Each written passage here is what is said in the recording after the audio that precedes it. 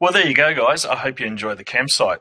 If you have any questions, just send me an email on the email address at the bottom of your screen or jump on my Facebook page and send me a message.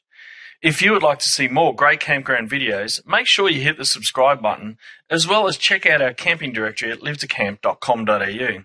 Also, click on the links in the description below so you can buy all the great gear Live2Camp uses to film your next camping adventure.